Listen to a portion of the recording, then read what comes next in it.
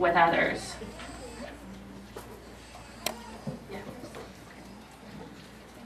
For me, first and foremost, um, truly it is a passion. It isn't even a business. It has become a business, but really, my passion is to inspire women to travel safely and well. And for those women who know how to travel, the hands of the women who are just starting out. And I started that a long time ago by, I'm ashamed to say this, but we were faxing each other. That's how far back it is. There was no internet, right? So I would just post the question. I sent out letters and I sent it to 100 people and I asked them questions.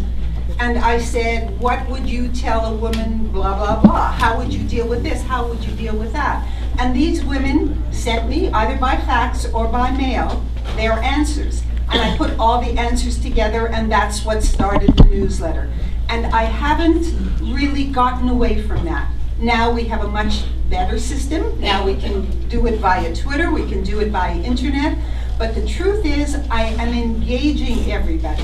And I'm not doing this intentionally like, oh, they're going to come to the site in droves. That's not what it's about. It's about getting people to hold hands and to help each other. And what is amazing is that it's actually moving around the world, around the world, and around the world because people feel they're really engaged. The other part is, I don't know how many of you have been to my website, but if you go, you're going to be terribly disappointed because it's the same website I've had since 1997. And everybody says, Evelyn, why don't you change it? And I say, do you enjoy going to your grandmother's house? At your grandmother's house, you know where every single thing is. I want people to come there. Your grandmother is wise. Your grandmother is practical. So come and visit. I'm really lonely.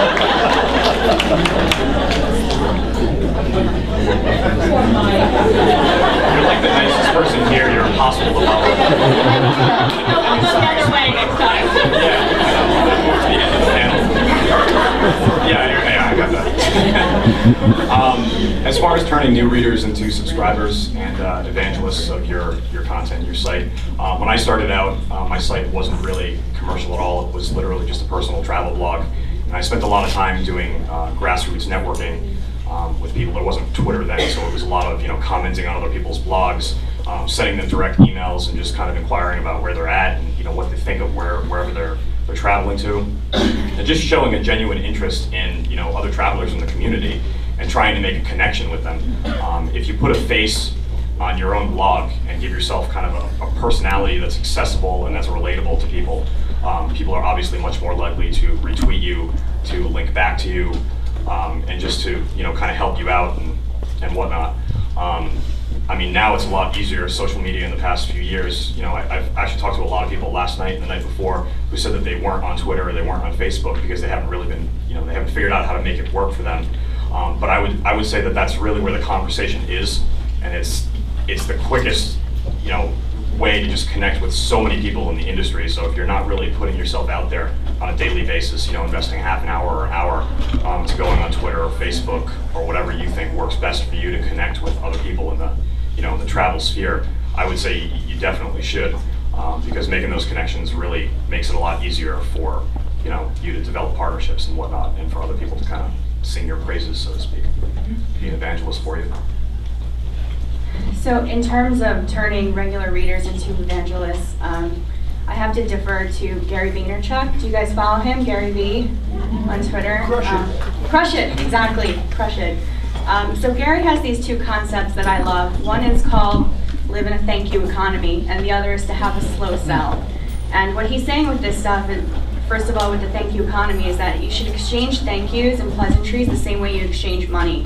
You should always thank people for tweeting things. You should retweet if, if you like someone's link. You should share someone's link on your blog if you like it. You should just always be open and always be friendly to people the same way that you would demand payment. You should demand respect and, and give respect out at the same time. And the other concept of the slow sell means that, you know, I might go to Vagabondish and I might enjoy Mike's writing about Andrew Zimmern, um, but I might go there and say, you know, maybe there's not a partnership for us right now, and continue reading and, and talking to him, and then later on, we do create something. You don't have to have everything all at once. You don't have to go out to your readers and say, I want all of you to become subscribers immediately. I want all of you to link to me immediately. You can build a rapport with people. You can say thank you, hello, how are you today? What are you doing today? I'll, I'll retweet this for you. And kind of build this relationship with people. Whether it's someone who has a million followers on Twitter or it's someone who just started yesterday and has a lot of questions and maybe has something that, that they can learn from you. Uh, I think the best way to create people that are passionate about what you do is to be passionate about them and to show them something to be passionate about in the first place.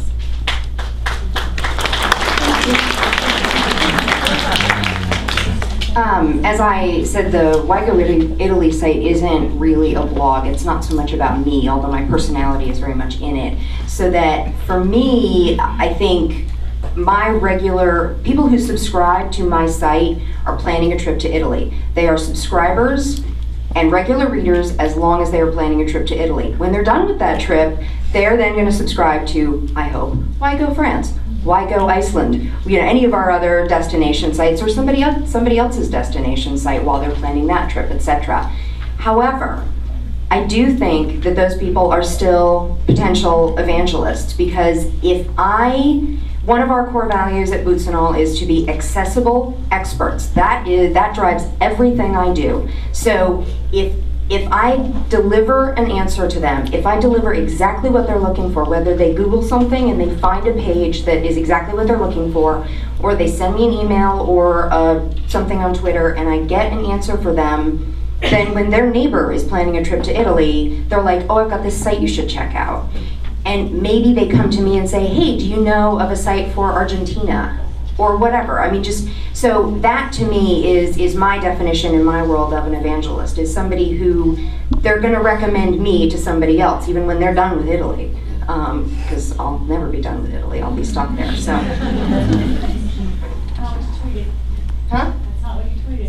Jim lied. I didn't say that. Just Don't tweet them. Last year I spoke a lot about just frequent posting and pictures and um, links and all that. And this year it's a little different for me. I just try to keep it fresh. I mean, I could just, I, there was a point where I thought, oh, I was trying to get pregnant, and what if I get pregnant? What am I going to write about? So I'll be on maternity leave, and there'll be nothing. There's never nothing. That's what I've learned. And um, in fact, I can't even keep up with all my ideas anymore. And and I, I will admit it, I'm a fan of reality TV. I love how the Desperate Housewives and all that stuff. So I kind of, I kind of try to like keep my blog like. That's how I kind of think of it, like reality TV and blog or Twitter or whatever. So just want to give people a, a view of what it's like to be in my shoes because everyone's on the airplane. Everyone has that experience, but they might not necessarily have my experience. That's how I, what I try to do with that. And then also, um, just I try to incorporate my readers too. I have one guy who writes, started writing me so much. He, he's I, I would love for him to write for me. I always answer his questions. He's so funny, so I include him. And you know, then lately I've just been taking people's pictures and putting them on and asking people to caption, you know, caption it, and that is so funny. So I, I just try to include people, make it a little fun party, I guess. That's it.